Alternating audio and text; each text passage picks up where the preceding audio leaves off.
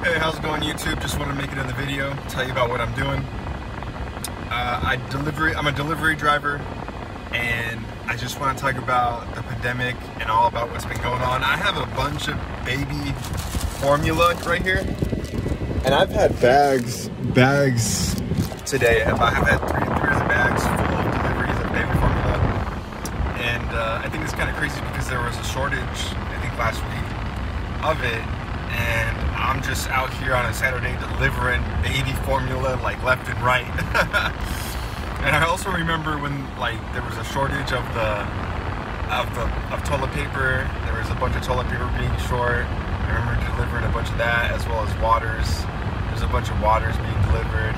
Um, what else has, has there been? Like there's been so much you know, I've, I've been doing, I, do, I used to do DoorDash and Instacart. Yeah, when I was doing Instacart, that's when there was a bunch of, um, just a bunch of toilet paper being missing and me just having to find it and deliver it.